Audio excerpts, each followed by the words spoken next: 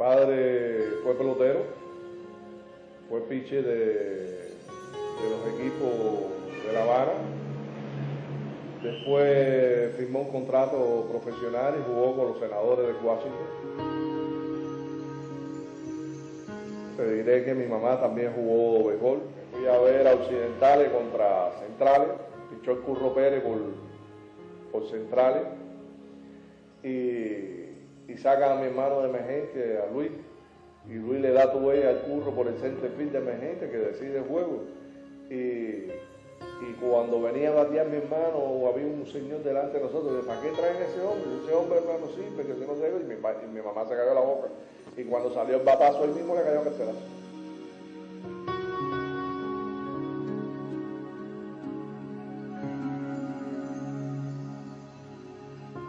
Ella prácticamente ha criado los, muchachos solos, porque yo jugué 17 series nacionales,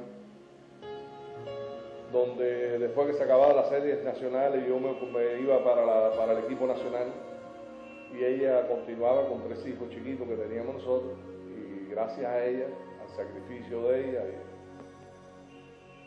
yo tenía la oportunidad de estar tranquilo en, en las competencias y poder desarrollarme en, en el béisbol gracias a, a la compañía de ella. Y esto es locura en el parque latinoamericano. Miles de espectadores se lanzan al terreno. Marchetti todavía no se sabe. Se perdió Marchetti con la multitud. Bueno, no va a poder entrar Marchetti. La mayoría de los, de los periodistas están concentrados en el latinoamericano. Y para nadie es un secreto que tanto los narradores deportivos como los periodistas contribuyen a que ese atleta haga o no haga la selección nacional.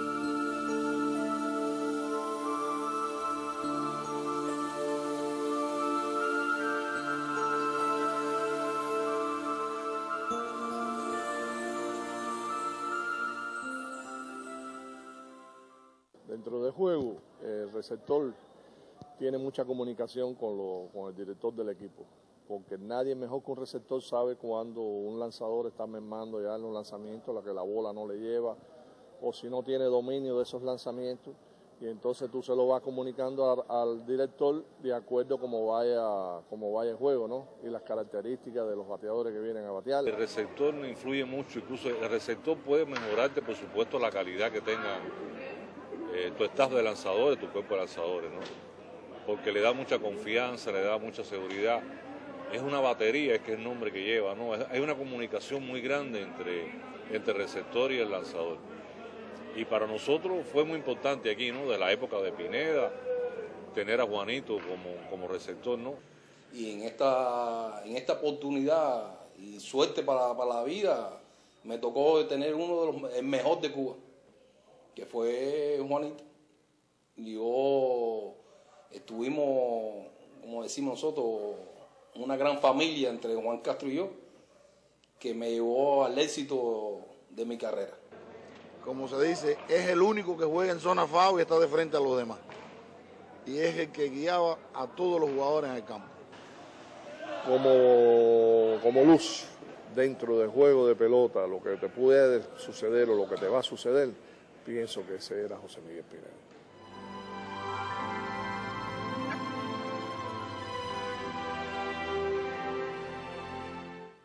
Y el equipo a desarrollar, el, equipo escuela era el equipo forestales. Yo tuve el privilegio, la posibilidad esa de poder desarrollar a esos muchachos que después con el tiempo se convirtieron en estrellas, en peloteros del equipo Pinar del Río, en el equipo, inclusive en equipos Cuba. Después eh, tuve la oportunidad de, una colaboración que se me presentó para, para el país italiano, para Italia, y allá estuve dirigiendo alrededor de 14 años. Me fue muy bien allá. Primero dirigí en Modena un equipo que estuve trabajando con él en Serie C y de Serie C lo llevé a la primera categoría, Serie A, y de ahí estuve trabajando, dirigiendo ese equipo en Serie A alrededor de nueve años.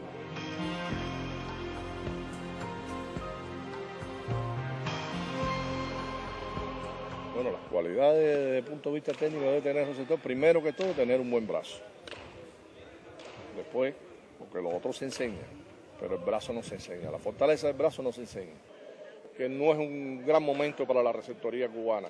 Pienso de que en estos momentos es cuando más escasean los receptores en Cuba.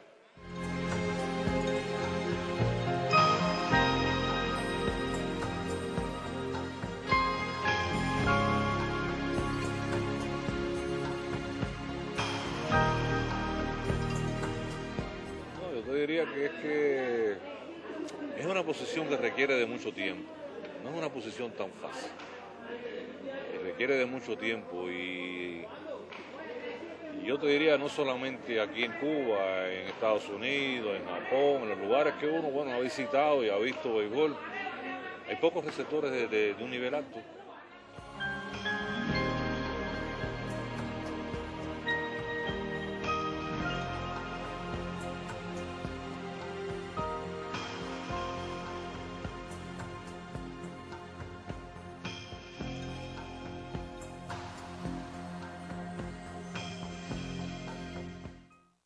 Que estábamos en el Campeonato Mundial en, Italia y fuimos a jugar con Puerto Rico ese día. Y se me dio las orientaciones de que no, que había que picharle pegado a los, a los bateadores del equipo de, de- Puerto Rico. Y yo le dije que los bateadores de Puerto Rico que habrían, yo en el análisis que se hace práctico, le dije que, los bateadores del equipo de Puerto Rico, la mayoría, alaban el pie hacia, hacia afuera y que sacaban en la cadera abrían la cadera demasiado rápido y los obligaba a eso, a llevarse la cara. Quiere decir que los lanzamientos que más daño le hacían eran los lanzamientos del centro hacia afuera. Ese es el verdadero receptor.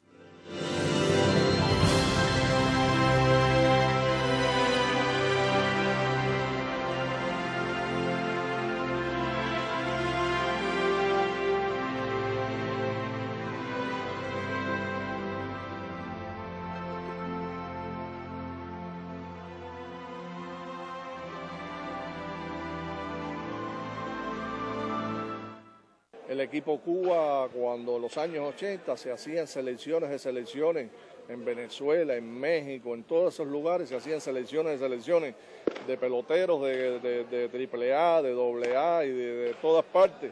Y nosotros los vencíamos fácil. Yo recuerdo que en Venezuela teníamos gira de- e inclusive de dividir el equipo en dos porque no nos hacían resistencia y jugaban con todos los, los atletas de, de- su nacionalidad, conjuntamente con muchos extranjeros que jugaban para esos equipos y nosotros les ganábamos fácil. Nosotros en aquella época teníamos un buen, un buen béisbol.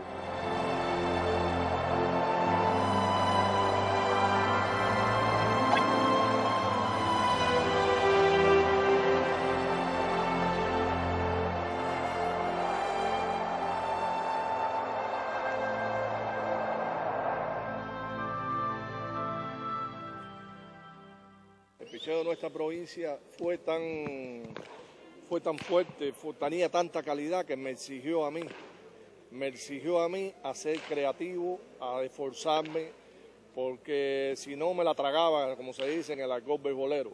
Yo tenía piche de todo tipo de, de velocidades y de todo tipo de control.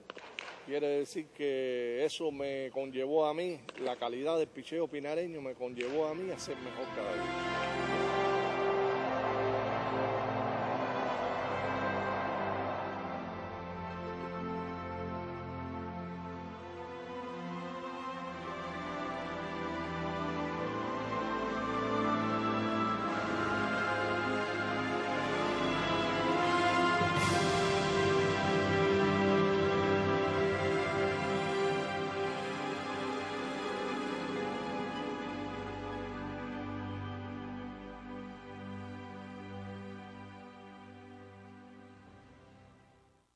Es que él empieza, cuando, cuando él cambia, le decía al principio de la conversación, de este intercambio, cuando él comienza, él comienza a hacer esas cosas así, ese es su estilo, ¿no?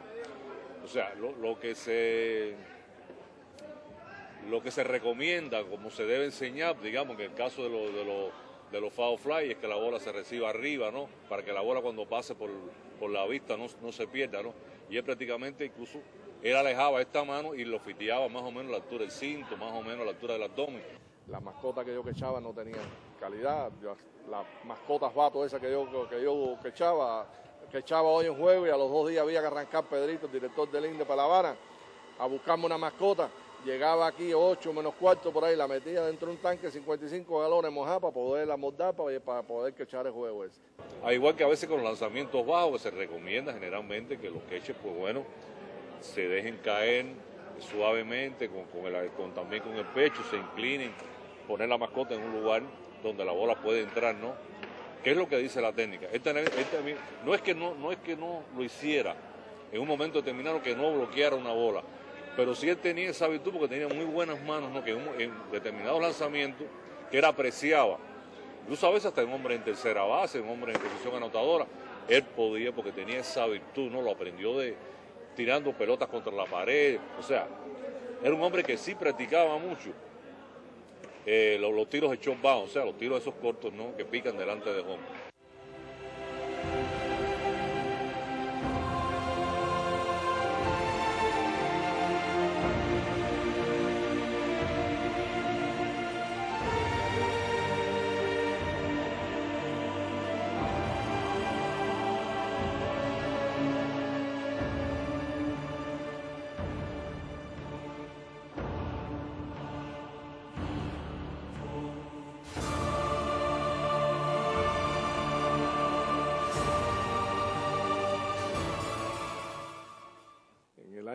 1985 era primera vez de que un equipo cubano eh, visitaba los Estados Unidos después del triunfo de la revolución.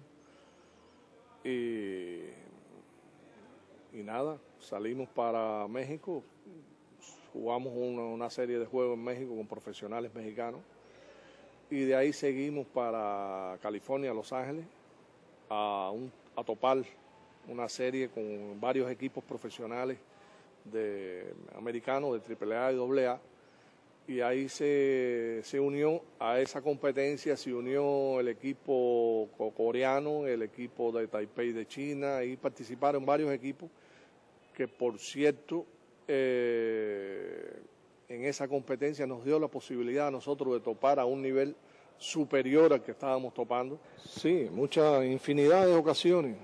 Eso para nadie es un secreto. En infinidad de ocasiones nosotros fuimos contratados por, o sea, se, nos acercaban muchos scouts de, equipos de grandes ligas. ¿Quién no sabe que el equipo de los años 70, los años 90, eh, hubieran sido todos profesionales, todos hubieran jugado en grandes ligas? Eso lo sabe todo el mundo porque calidad no sobraba pero nos, nos otras ideas, otras cosas. Eh, nunca, a mí, yo por mi caso, nunca me ha gustado traicionar. Y eso fue lo que me conllevó, porque ya te digo, cuando yo era el receptor del equipo Pinar de Río, del equipo nacional, yo tenía tres hijos, ganaba 211 pesos. Y sin embargo nunca, nunca dimos un paso en falso, nada de eso, porque bueno, primero que todo teníamos, sentíamos amor por la camiseta que representábamos, ya era la, la de Pinar de Río o la de Cuba.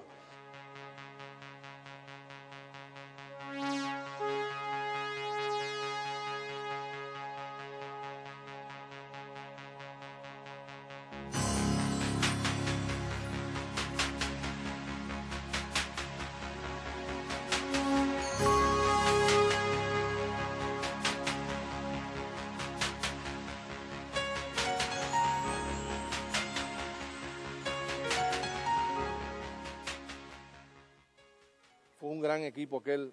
eh, ahora se está hablando del equipo norteamericano que está llevando últimamente el equipo americano a las competencias.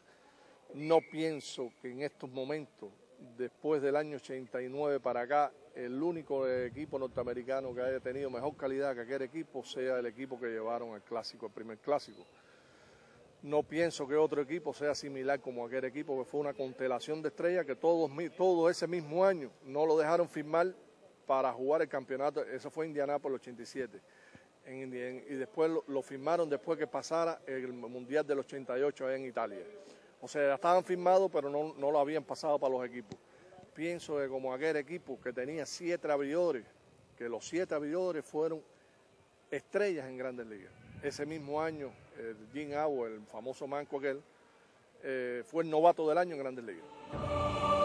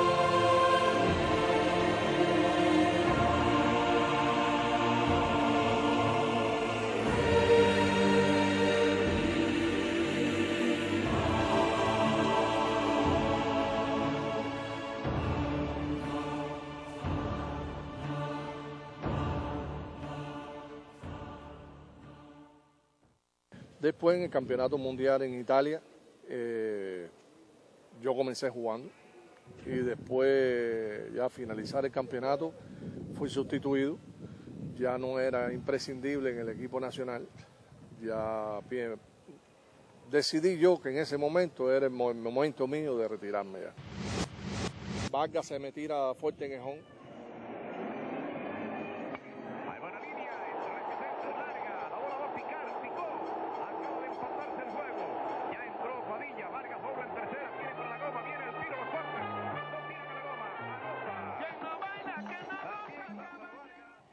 Yo le decía a mis compañeros del equipo nacional que no me levantaran el pie cuando me llegaran a home porque los mandaba para los ortopédicos, hablando castellanamente.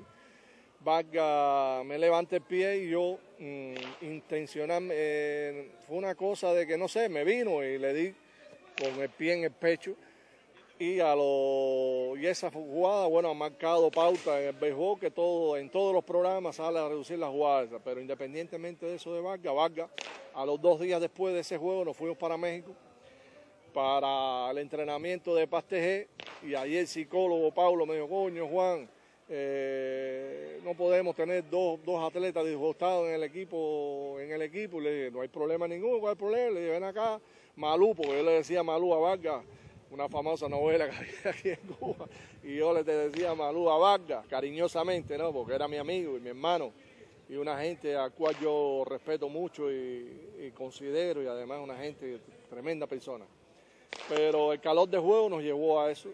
Y existía eso antes en el terreno pelota, no teníamos, no éramos contrarios, en el terreno pelota éramos contrarios, después de juego éramos amigos, hermanos, salíamos, todas esas cosas, pero en el terreno existía la rivalidad que debe existir también en estos momentos, la lucha por la camiseta. Y Juan Cato tuvo una cosa. Tuvo una cosa que pocos receptores no, jamás yo lo, yo lo escuché que ellos lo hicieron.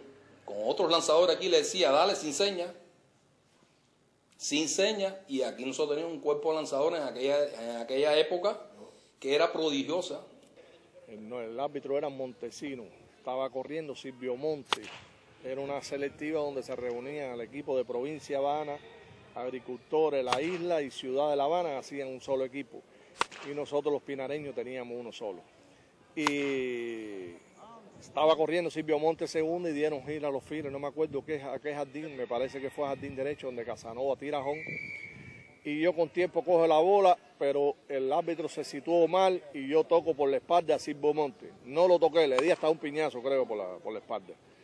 Que lo sintió todo el estadio menos Montesino. Ahí mismo se acabó el juego de pelota, eh, el juego estaba apretado, era una, una carrera que decidía y, y entonces, bueno, esa, con esa carrera nos ganó el juego ese en la ciudad de La Habana. La Habana, que era la, cuando aquello. porque yo le había dicho a Héctor Rodríguez en La Habana en una entrevista que me hizo, un doble juego latinoamericano, que la curva era la que me estaba, o sea, sé que había bajado de rendimiento ofensivo porque me estaban tirando mucha curva, pero eso no es cierto, cuando uno está bien al bate, no, no hay lanzamientos que te sean difíciles porque en mi vida, en mi carrera deportiva, yo di creo que fueron 96 o 98 horrones. Y de los 90 y pico que di, casi 80 fueron con lanzamiento de rompimiento, curva y eso ahí. Bueno, él, él, dijo eso, pero yo soy del criterio de que un bateador puede decir el lanzamiento que le hace daño. Ahora, lo que tiene que prepararse y pensar que cada vez que vaya un juego, el piche contrario le va a tirar ese lanzamiento, porque ella dijo que se le hacía daño. Pero si se prepara para ese lanzamiento, yo pienso que no debe fallar tanto. Porque un lanzamiento preparado no, no es para que falle tanto. Lo que pasa es que Juanito no tenía la característica esa de ser buen bateador, que era lo contrario internacionalmente, porque internacionalmente sí bateaba.